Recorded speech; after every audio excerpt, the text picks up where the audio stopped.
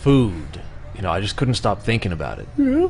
So, yeah. So, you know, I, I went to the fridge and I opened up the meat drawer. You know what the meat drawer is, right? Yeah.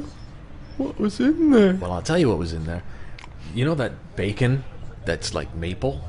It's got maple flavor. The maple kind, yeah. Yeah, so Yeah. I took that out and I thought, Yeah. I know who would like that. Me. So I ate it. Oh no. You're kidding me.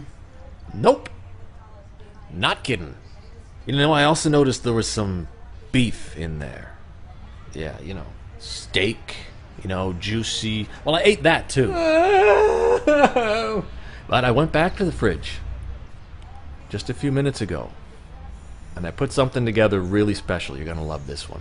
I took some chicken. Yeah. I put some yeah, I Yeah. put some cheese on it. And I covered it with Covered it with what? covered it with cat treats. Yeah. Then guess what? What? I gave it to the cat. Ah!